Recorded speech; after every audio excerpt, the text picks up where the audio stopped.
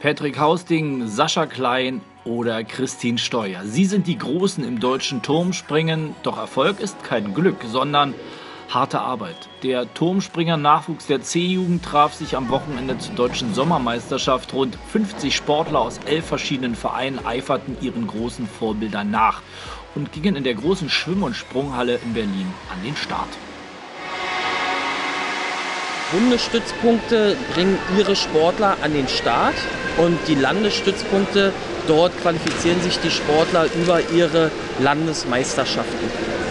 Frisch gebackener Meister des Jahrgangs 2002 der Jungen im 3 Meter Kunstspringen wurde Tom Waldsteiner vom TSC Berlin. Nach insgesamt neun Durchgängen sicherte sich der junge Berliner den ersten Platz mit insgesamt 361,5 Punkten.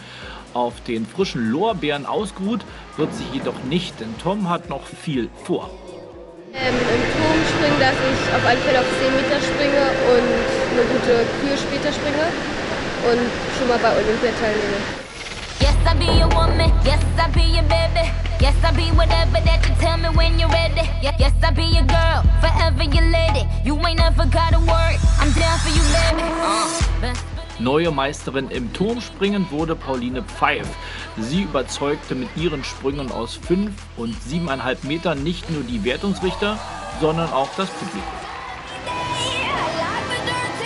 Also mein Lieblingssprung ist anderthalb Rückwärtsschraben. Den mache ich sehr gerne, weil ich sehr gut drehen kann. Aber was ich nicht so gerne mache, ist zum Beispiel Delfin. Mein zweieinhalb Delfin war nicht gerade der beste, aber ich mag Delfin generell einfach nicht so. Mögen oder nicht mögen ist die eine Sache, aber auch die Bewertung ist von den Schwierigkeitsgraden der jeweiligen Sprünge abhängig. Je komplizierter der Sprung, desto höher der Multiplikator, mit welchem die erreichten Punkte errechnet werden. Für jeden Laien und für jeden Zuschauer ist es dann schwer, innerhalb von knapp zwei Sekunden dann äh, eine Wertung abzugeben und dass ein Kampfrichter, das ist ein geschultes Auge. Die meisten Kampfrichter sind ähm, ehemalige Wasserspringer, die haben selber die Erfahrung, die haben dann alles auch mit bei. Ehemaliger Wasserspringer, das sind die Sieger vom Wochenende noch lange nicht. Vielleicht übernimmt ja die eine oder der andere später mal den Platz von Hausding, Klein und Co.